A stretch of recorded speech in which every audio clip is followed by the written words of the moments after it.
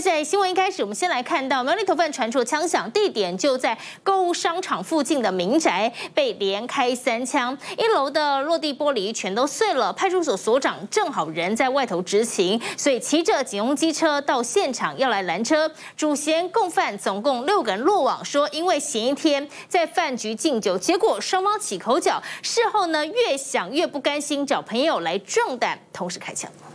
主嫌吴姓男子走向骑楼，他从背后掏出手枪，开了一枪。这时屋主有人气冲冲的上前要理论，被人反手拉住。这时主嫌更大胆，直接站在玻璃窗前，砰砰砰，又开两枪。现场枪声大作，路人报警。恰巧出行的派出所所长两分钟后到达现场，骑着警用摩托车，立刻拦下共犯车辆，连同主嫌在内，一共六人被带回。走在最前方的就是吴姓主嫌，为何闹人开枪？他声称与被害人熟识，但在前一晚饭局中因为敬酒口角冲突，事后越想越火大，找朋友壮胆开枪。案情公称系因敬酒产生嫌隙，为警方不排除任何原因，持续追查枪支来源。被开枪的民宅在苗栗头份一间购物商场附近。事后警方起出改造手枪、空气长枪各一把，敬酒起了口角，竟然在光天化日之下持枪轰民宅，恐怕开枪原因没那么简单。记者彭志明、黄湘富、彭鑫苗栗报道。好，来看到这阵让大家觉得蛮离谱的哈，这不少民众会到中医中医诊所针灸，结果回家发现针还在脸上。好，来看到民众来到中医诊所针灸，护理师拔针之后发现腹部有针没拔掉，赶快提醒他，就回家安全帽一拿下来，居然又有一根针卡在头上。照片中的男子把额头上头发拨开，惊觉这上头怎么有一根针，赶紧拔下来。没错，竟然是针插在头上。这根针的长度起码有四公分，真的把他给吓坏了。原来彰化一名男子因为失眠，日前到某医学中心中医针灸。当时护理师拔针后，他发现腹部有针没拔掉，赶紧提醒对方。结束后戴安全帽骑车回家，惊觉有一根针卡在右侧额头。如果针卡在中间，不是就插进去了吗？打回去，护理师说我头发太长遮住，抱歉，我头发太长，但是忘记拔针很常见吗？而询问其他民众也感到不可思议。很少看中医了，可是也是要小心呐。应该是要小心一点，尤其是大医院。最近的吼，那个线骨才看到，我嘛讲讲讲。哦，你嘛有发现过啊？还有人说，过往也曾遇过类似情况，而来到遭指控的医学中心，院方也赶紧解释，当天是医师和护理师双方记录针数的数字有误，才会造成这起意外，导致护理师在接下来就是取证的一个流程中。哦，没有没有取到这个正确的一个申诉。院方强调，未来会加强人员训练。当事人也再次铺文解释事件告一段落，没造成伤害，不打算提告。但再看一次这惊悚画面，针插在额头上，所幸人没事，也是不幸中的大幸。记者陈胜伟、连元斌、王柏英、张化采访报道。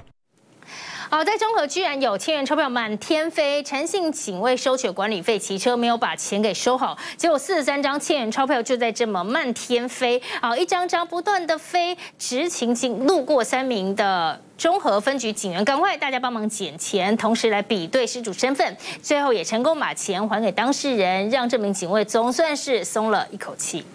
好，蛮粗心的。还有在新北市中和，民众在路边的椅子上发现黑色箱子，打开一看，居然是警用酒测器，赶快送回派出所，还把这个经历抛上脸书，引起了大批网友都来朝圣。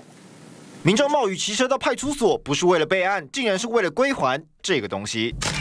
民众捡到一纸黑色箱子，上面还贴着大大的“中和交通分队”。打开一看，不得了，竟然是一组警用酒测器。民众一头雾水，赶紧 Po 文询问。内容更表示，在路边椅子上都可以捡到酒测器吗？贴文一出，马上引来网友朝圣，直呼太扯了吧！远景报告肯定写不完。更有民众逗趣表示，幸好当事人不是捡到枪。对于哈遗失酒测器之行为哈，内心哈深感懊悔哈，后续哦将交由本分局。督察组啊，进行调查及论述吧。原来当时远景正在处理交通事故，执行酒测之后，因为当时雨势太大，竟然粗心将酒测器遗落在路旁长椅上。事后远景发现酒测器遗失，赶紧跑回现场寻找，却正好被民众送到派出所归还，虚惊一场。酒测器遗失地点就放在白色长椅上，黑色外观确实非常显眼。远景冒着大雨处理事故固然辛苦，但粗心遗忘酒测器还被民众拍下抛网，这下恐怕难逃惩处，换取教训。记者沈正茂、尤涛新北采访报道。台南有进口车厂凌晨发生大火，浓烟不断的飘出，弥漫了好几公里。消防队在一个小时才把火势给扑灭。同时，浓烟飘到五公里之外的工厂，造成警铃大响，让消防队以为又发生了另一起火警。全新进口车展示车厂开幕不到一个月，屋顶上竟然冒出熊熊烈火，火势越来越大，烟雾不断飘出，弥漫好几公尺远。哇，好大的火！小加多。